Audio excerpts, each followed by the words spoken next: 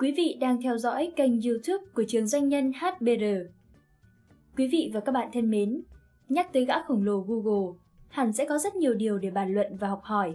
Theo Wendy Kenny, một doanh nhân có uy tín trong lĩnh vực marketing và truyền thông ở Mỹ, thì quy mô và giá trị của Google, người khổng lồ trong lĩnh vực công nghệ và truyền thông của thế giới, xoay quanh năm quy tắc cốt lõi dưới đây. Quy tắc cốt lõi đầu tiên trong văn hóa doanh nghiệp của Google đó là tập trung vào những lĩnh vực có lợi thế và không ngừng đầu tư để tạo ra lợi thế. Như chúng ta đã biết, trước khi trở thành chủ nhân của các dịch vụ như Google Earth, Google Maps và hệ điều hành Android, thì Google đã là doanh nghiệp hàng đầu trên thế giới trong lĩnh vực công nghệ và truyền thông mà nổi bật nhất là dịch vụ tìm kiếm thông tin trực tuyến, Google Search. Ngay từ khi mới ra đời, Google Search đã tỏ ra là một công cụ mạnh mẽ và khả dụng. Tuy vậy, Google đã không ngừng nâng cấp sản phẩm này ngày càng ưu việt hơn và trên thực tế là Google Search luôn luôn dẫn đầu mọi cuộc chơi. Mặc dù đã đưa ra thị trường hàng chục tiện ích khác nhau, nhưng hầu hết các sản phẩm của Google chỉ xoay quanh những lĩnh vực mà họ có lợi thế. Và tất nhiên là Google luôn biết cách đầu tư để không ngừng tạo lợi thế. Nhờ đó mà họ luôn luôn được thị trường tín nhiệm. Đặc biệt, Google Search được đánh giá là công cụ tìm kiếm thông tin nhanh chóng, hiệu quả và chuẩn mực hàng đầu trên môi trường Internet. Điều tiếp theo về văn hóa doanh nghiệp của Google đó là không say xưa với những thành tựu đã đạt được. Trên thực tế thì từ trước đến nay, Google Search chưa bao giờ có đối thủ xứng tầm. Nhưng không vì thế mà chủ nhân của nó ngừng sáng tạo, cải tiến để mang lại những trải nghiệm tuyệt vời hơn cho khách hàng của mình. Hơn ai hết, Google thấu hiểu rằng không ít đối thủ đang cạnh tranh luôn ấp ủ khát vọng được dẫn qua xác của họ. Do đó, họ không ngừng đổi mới để vươn lên, để vượt lên trên đối thủ bằng cách liên tục hoàn thiện những sản phẩm đang có. Bên cạnh đó, Google cũng liên tục cho ra đời những thế hệ sản phẩm mới và thông minh. Đây là lợi thế cạnh tranh của Google mà nhiều doanh nghiệp khác khó có thể khó được, nhất là những doanh nghiệp nhỏ. Nắm trong tay những sản phẩm có tính năng vượt trội so với đối thủ là lợi thế để Google luôn là người dẫn đầu. Nhưng nếu muốn tiếp tục duy trì vị trí số 1 như hiện nay, Google phải tạo ra ngày càng nhiều hơn nữa những cuộc cách mạng công nghệ để mang lại cho khách hàng của mình ngày càng nhiều hơn những trải nghiệm mới. Điều cốt lõi thứ ba trong văn hóa doanh nghiệp của Google đó chính là đa dạng hóa cách tiếp cận với khách hàng. Hiện nay, người cầm dao để chia miếng bánh thị phần quảng cáo trực tiếp không ai khác ngoài Google. Thế nhưng, không vì thế mà họ bỏ qua việc nghiên cứu, phân tích và đánh giá các chiến lược kinh doanh của đối thủ khác trên lĩnh vực quảng cáo trực tuyến. Bên cạnh đó, Google sử dụng nhiều kênh tiếp thị khác nhau như thư từ, email, điện thoại để khai thác thêm nguồn khách hàng mới cho mình.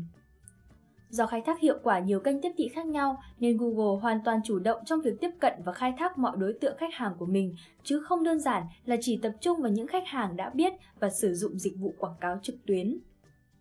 Điều cốt lõi tiếp theo trong văn hóa doanh nghiệp của Google mà trường doanh nhân HBR muốn gửi tới quý vị đó chính là vấn đề xây dựng văn hóa doanh nghiệp chú trọng sự sáng tạo. Đối với Google, đa dạng hóa dịch vụ tiện ích trên nền tảng Internet là một việc làm vừa tạo ra lợi thế cạnh tranh trước mắt, vừa mang tầm chiến lược lâu dài. Do đó, họ chủ động thiết lập một nền văn hóa doanh nghiệp để đề cao sự sáng tạo. Chính tinh thần cầu thị này đã góp phần cho Google ngày càng thành công hơn trong lĩnh vực công nghệ, mà những sản phẩm nổi bật như Google Earth, Google Maps hay hệ điều hành Android là những minh chứng cụ thể và hùng hồn nhất. Tất nhiên không phải lúc nào Google cũng gặt hái được quả ngọt, ví dụ như Google Wave là một quả đắng mà họ từng nếm trải. Nhưng với một tinh thần đổi mới không có điểm dừng, Google đã thúc đẩy đội ngũ nhân viên của họ sáng tạo không ngừng nghỉ nhằm mang đến cho công chúng ngày càng nhiều tiện ích hữu dụng hơn. Đó cũng là nền tảng vững chắc để Google ngày nay phát triển và lớn mạnh hơn nữa trong tương lai. Điều cốt lõi thứ năm đó chính là việc đề cao tính hài hước trong văn hóa doanh nghiệp. Google rất đề cao tính hài hước, họ cho rằng kinh doanh thì doanh nghiệp chỉ thực sự thành công khi mang lại nụ cười cho các thượng đế.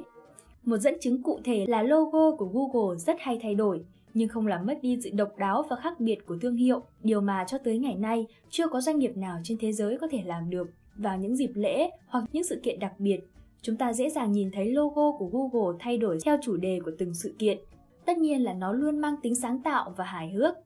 Đây là cách làm không chỉ mang đến niềm vui cho công chúng và đội ngũ nhân viên của Google, mà nó còn là dịp để Google kích cầu cho dịch vụ quảng cáo trực tuyến của họ.